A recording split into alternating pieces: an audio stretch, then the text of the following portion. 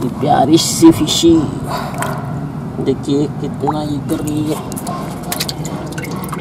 हा हा हा हा देख सकते हो आप।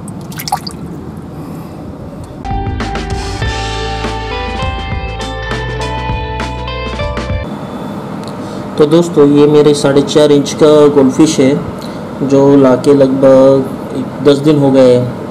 तो इसके माथे पे ना एक ज़ख्म हुई है। मुझे नहीं पता कैसा हुआ है वो, क्या हुआ है। तो वही मैं आपको दिखाता हूँ।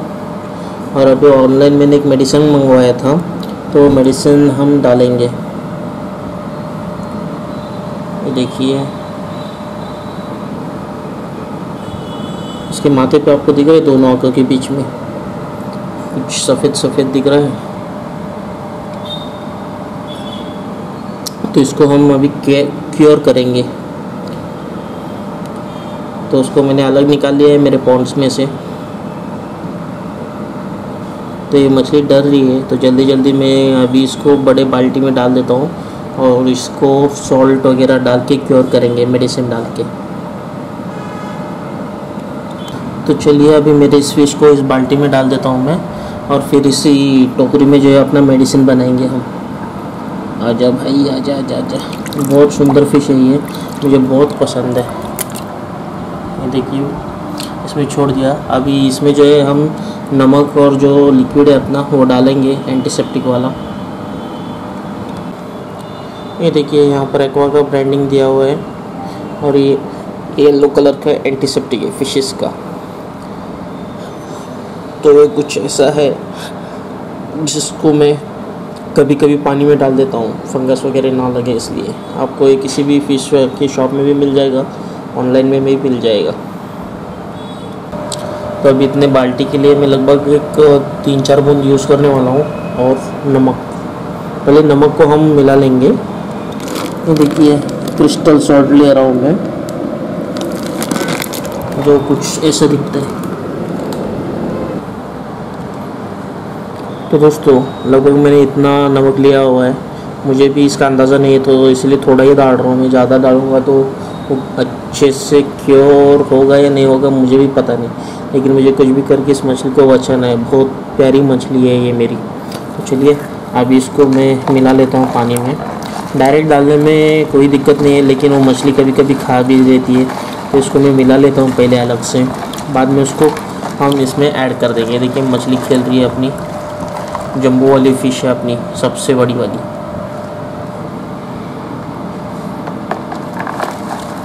ये सब मिला लेते हैं हम पहले। एक बार डायल्यूट हो जाएगा तो डाल देंगे हम बाल्टी में। तो फिर हम ऑब्ज़र्व करेंगे अपनी मछली को, कुछ हो रहा है, नहीं हो रहा है। अगर मछली को ज़्यादा परेशानी हो रही है तो हम वापस पौंड में छोड़ देंगे। लगभग दो घंटे के लिए हम पानी में रखेंगे इस नमक वाले। जिससे जख्म को थोड़ा सा राहत मिलेगा। ये देखिए, टूट भी नहीं रहा है। क्रिस्टल सॉल्ट है ये। तो ये मछली को परेशानी कर सकती है कभी कभी तो देखिए, मछली थोड़ी मेरी सी घबरा रही है यहाँ पर। क्योंकि अभी तक ये बड़े पॉन्ड में छोड़ा था मैंने इसको। अगर ऐसे मछली को कुछ हो जाता है ना तो बहुत बुरा लगता है।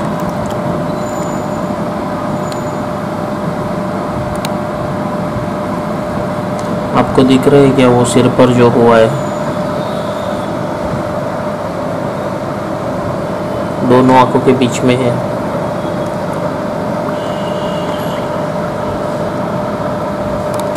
तो ये जो अपना क्रिस्टल नमक है लगभग पानी में घुल चुका है तो अभी मैं मेडिसिन ऐड करने वाला हूँ इसमें। लगभग तीन चार बूंदे तो ऐड करने पड़ेंगे। फिर ये पानी हम इस बाल्टी में डाल देंगे गोल्डफिश में। देखिए, मैं निकाल रहा हूँ, एक हाथ से कैमरा पकड़ा हुआ है और दूसरे हाथ से जो है अपना चल रहा है काम। एक थोड़ा सा ज़्यादा हो गया क्या? इतना काफ़ी है। तो इसको मिला लेते हैं अच्छे से।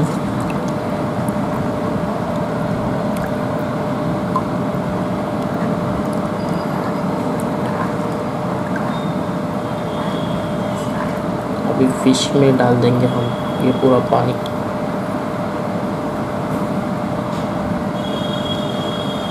ये पीले कलर का है, जो मैं यूज़ कर रहा हूँ।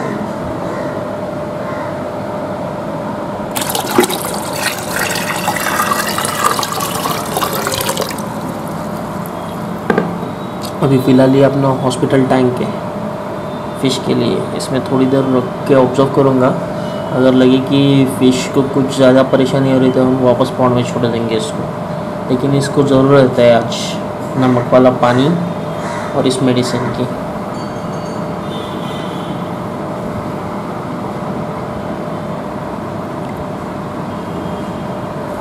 वैसे इसने खाना खाया है।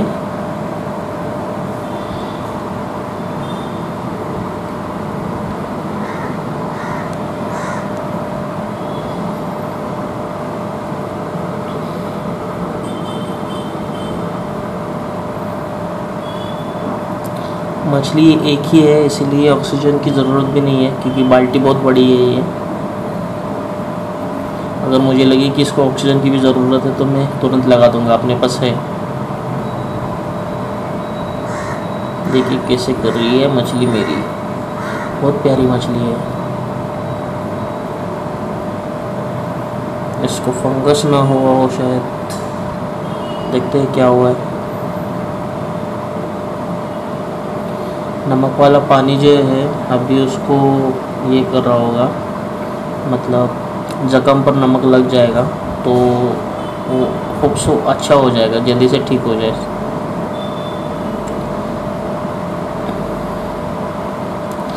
जब भी आप न्यू फिशेस लाते हो तो थोड़ा सा नमक वाला पानी में डाल के लिया करो। अगर कुछ फंगस वगैरह होगा तो मर जाती है। फंगस मतलब फंगस जो है ना फंगस और बैक्टीरिया उससे दूर हो जाते हैं मछलियों से। नमक के पानी में डाल कर या टैंक में डाला करो। अगर सारे टैंक वाली मछलियाँ भी थोड़ी सी इन्फेक्टेड है तो नमक पानी में भी डाल दिया करो।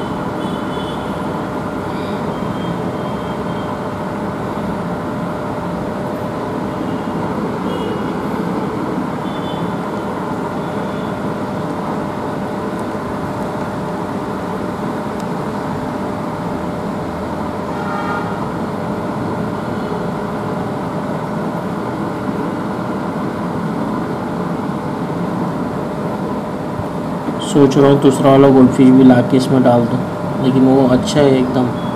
तो उसको नहीं डिस्टर्ब करेंगे, इसको ही रहने देंगे इसमें।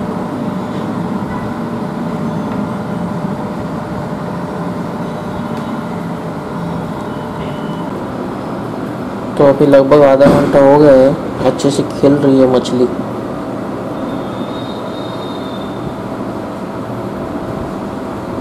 मैं आपको जख्म दिखाने की कोशिश कर रहा हूँ फिर एक बार। मुझे तो दिख रहा है, लेकिन ये कैमरा कैप्चर नहीं कर पा रहा है उस जख्म को।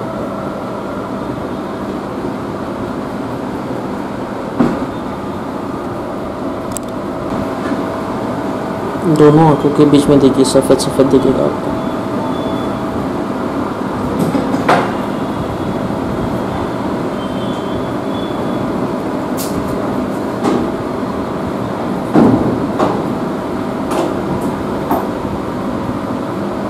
तो दोस्तों, लगभग एक घंटा हो चुका है अभी।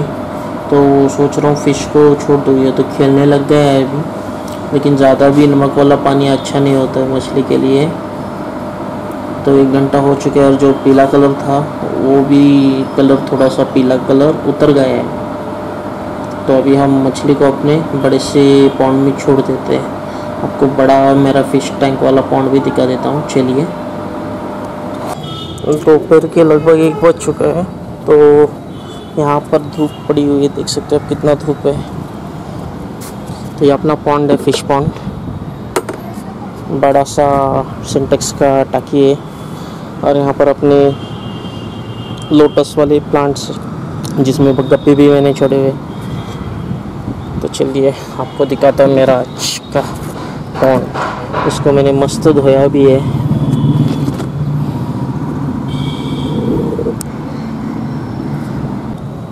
तो ऐसे दो नेट है मेरे पास, जो ऊपर रहते हैं, क्योंकि यहाँ पर बहुत सारे बर्ड्स आते हैं। तो अभी ये फ़िश है अपना। यहाँ पर देखिए कितने सारे गोल्ड फ़िश है। एक डिटेल वीडियो भी बनाऊँगा बाद में मैं।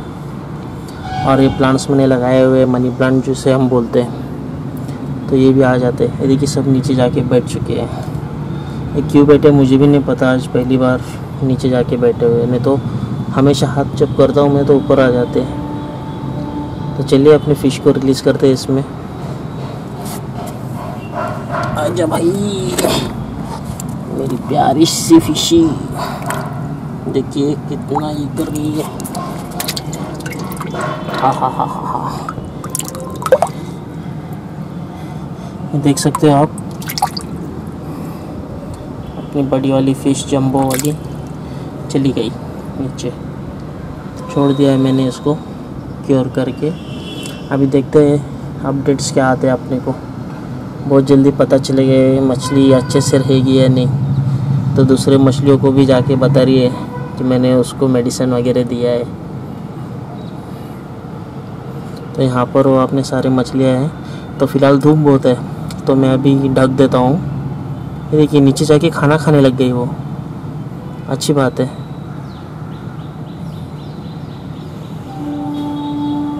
अच्छा अच्छा।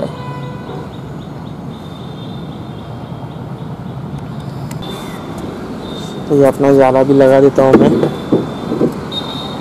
देखिए ऐसे जाला बैठ जाता है ऊपर, जिससे बर्ड्स नहीं आ सकते। और ये कवर कर देता हूँ मैं।